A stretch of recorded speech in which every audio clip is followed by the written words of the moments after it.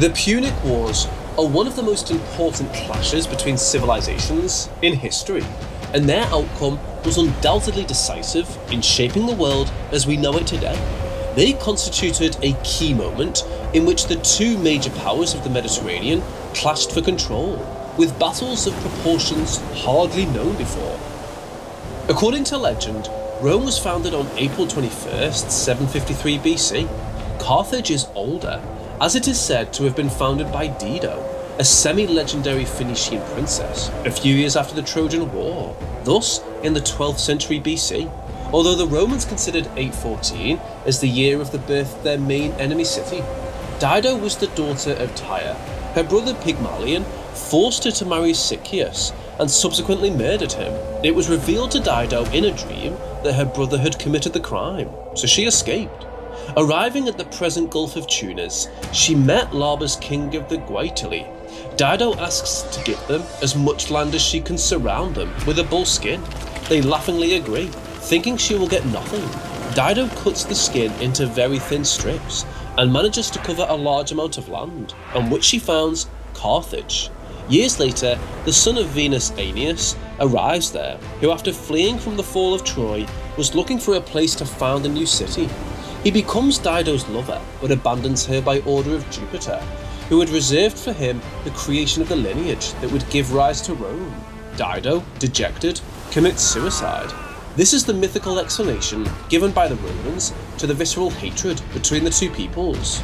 With the passage of time, the city of Carthage came to dominate the northwest African coast, southern Iberia, the Balearic Islands, Corsica, Sardinia, and western Sicily, favoured by its central position on the Mediterranean sea lines. By the 3rd century, Rome was also a power, having conquered a large part of the Italian peninsula thanks to its victories against the Latins, the Samnites, and the Greek king Pyrrhus. The two republics had traditionally had good relations. In fact, they had allied against the invasion of Pyrrhus, but their desire for expansion is about to collide for the first time. In 288 BC, the Mamertines, a group of mercenaries, find themselves out of work in Sicily and decide to conquer the city of Messina, which allows them to control the strait between Italy and Sicily. Syracuse, ruled by the tyrant Hieron II, besieges them. The Mamertines ask for help from both Rome and Carthage. The first to respond was Carthage, which already controlled a large part of the island and quickly succeeded in making the Syracusans retreat. The Mamertines still want to ally with Rome, but the Romans hesitate. The Senate discusses it at length, the entry into Sicily. On the one hand, there were those who believed that entering Sicily would mean war against Carthage, and that this would be detrimental to Rome, as well as being in breach of the treaty signed with Carthage in 278, whereby Rome would not enter Sicily and Carthage would not enter Italy. On the other hand, others believed that not acting against the Carthaginians would be dangerous, since they only had Syracuse left to control all of Sicily, and then their next step would be to enter Italy. The Senate passes the decision to the Popular Assembly, which ends up deciding in favour of war against Carthage, thinking that it would bring wealth to the city and a large amount of grain, the main product of Sicily. In 264 BC, Rome starts the First Punic War with an expedition to expel the Carthaginians and the Syracusans from Messina. Subsequently, it besieged Syracuse, initially allied with Carthage, until the tyrant Hieron II decided to change sides. The Carthaginians retreat to Agrigento, the main Punic city on the island. Rome besieged it with 40,000 legionaries distributed in four legions and 2,000 knights.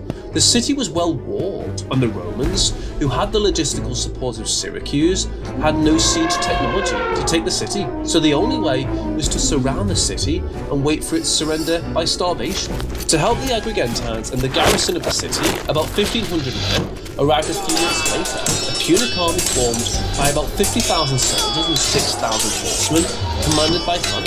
In addition, it had about 60 African forest elephants. They are smaller than other elephant breeds, but reach 2.5 metres in height. The Romans had met them some years before, in the wars against Pyrrhus, when they did not even know their name, and called them Lucanian archers. Both sides fought in the open field until the Romans won, although many Carthaginians escaped. Finally, after seven months of siege, the Romans managed to take the city, and the inhabitants of the city were enslaved. However, the most important part of the war will be fought at sea.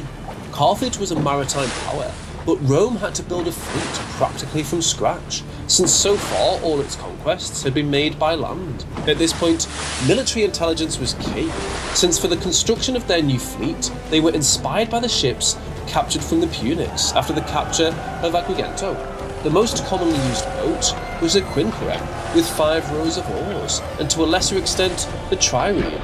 An important role was played by the use of the corvus, crow, a boarding system already used by the Greeks, which according to the historian Polybius was mounted on the ships and consisted of a gangway movable with a pulley 1.2 metres wide and 10.9 metres long, with hooks at the extremities. A pulley made this device descend on the enemy ships, allowing the soldiers to board. This is how the Romans achieved their first naval victory at the Battle of Mylae, today's Milazzo, just after being defeated at the Lipari Islands. This ingenuity initially surprised the Punics a lot, but it made the ships heavier and less manageable, which contributed to the destruction of many ships during at least three storms, and to their use being abandoned after the First Punic War. In the following years, they alternate victories in various land and naval battles, including some clashes on the islands of Sardinia and Corsica. The Carthaginian soldiers, after being defeated at Sulci, crucify their admiral Hannibal Gisco. The Romans launch a new offensive under the command of Marcus Atilius Regulus, who wants to move the war to Africa. He defeats in the naval battle of Cape Ecnomus the Carthaginians, whose generals were Hamilcar and Hanno. He then captures or convinces 200 African cities to change sides, and Carthage even asks for peace, but does not accept because he considers the conditions offered too harmful. The Carthaginians had asked the Lacedaemonians, or Spartans, for a mercenary general, Xanthippus, arrives, who soon proves his worth and defeats Atilius by capturing almost his entire army, including him. The war continues in Sicily, where the Romans, after rebuilding their fleet, win at Palermo. General Hasdrubal succeeds in reconquering Agrigento and a large part of Sicily from the Carthaginians. For a few years, there were no decisive advances. The Punics send an embassy to Rome to negotiate, bringing Attilius with them. Attilius himself urges the Romans not to negotiate and returns to Carthage, even though he knows it will mean his death.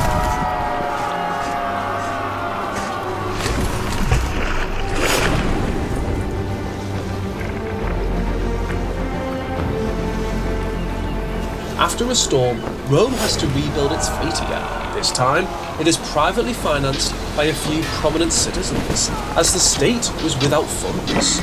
The final battle that decides the war takes place in 241 BC on the Aegates Islands. The Romans were trying to block Carthaginian supplies to the west of the island. The Carthaginian fleet spotted them, and finding themselves downwind, attacked. To fight in these unfavourable conditions, the Romans decided to dismantle all the non-core elements of the ships, such as masts or sails.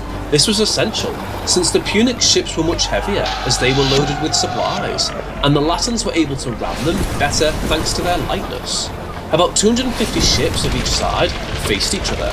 The Carthaginians lost 10,000 men and were left with no more economic or military resources. They surrendered and signed the Peace of Lutatius, renouncing Sicily, which became the first Roman province. Carthage also undertook to abandon all the islands between Africa and Italy and to pay important war reparations. And this is the end of the video, like a great night at the theatre introducing the main protagonists. If you liked the video, please like and subscribe, and leave a comment about what other character, battle, event, or historical curiosity you would like us to cover. I hope you enjoyed the video as much as we did. See you in a few days. Bye!